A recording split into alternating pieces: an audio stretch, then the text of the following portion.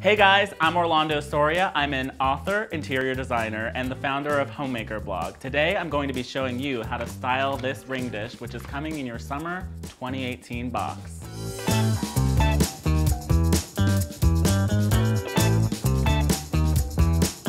May have noticed that this is kind of a monochromatic tablescape. Just because you're mixing a lot of materials doesn't mean you have to go crazy with color. We're actually trying to be a little bit more calming and elegant here.